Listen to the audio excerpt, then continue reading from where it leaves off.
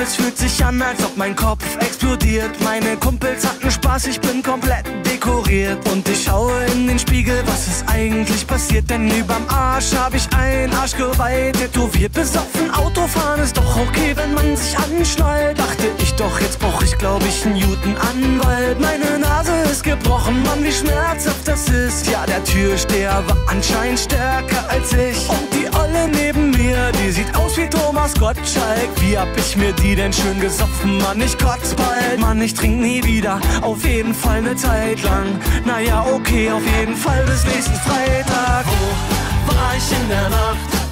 Von Freitag auf Montag war ich drei, drei Tage wach. Oder einfach im Koma. Und ich denk mir so ne Scheiße. Leg mich splitternackt und pleite.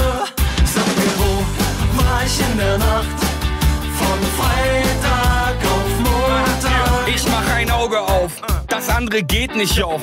Alles dreht sich und ich glaub, mein Bett bewegt sich auch. Hm, erstmal steh ich auf, hm, doch das geht nicht. Au, ey, Mann, was soll das? Da guckt ein Katheterschlauch aus meinem Penis raus. Verdammt, wo bin ich? Und warum bin ich stinkbesoffen? Warum trage ich dieses blöde Kleid mit hinten offen? Warum fühlt mein Kopf sich an, als ob ein Block dagegen knallt? Ich geh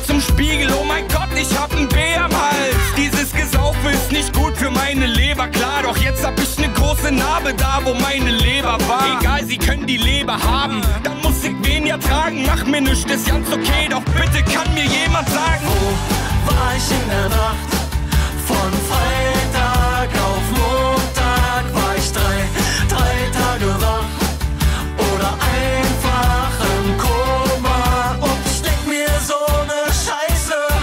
Leg mich splitternackt und pleite. In der Nacht? Von Freitag auf Montag. Sorry, ich war noch nie so drauf wie auf der Party. Ich konnte das nicht wissen, Mann. Ich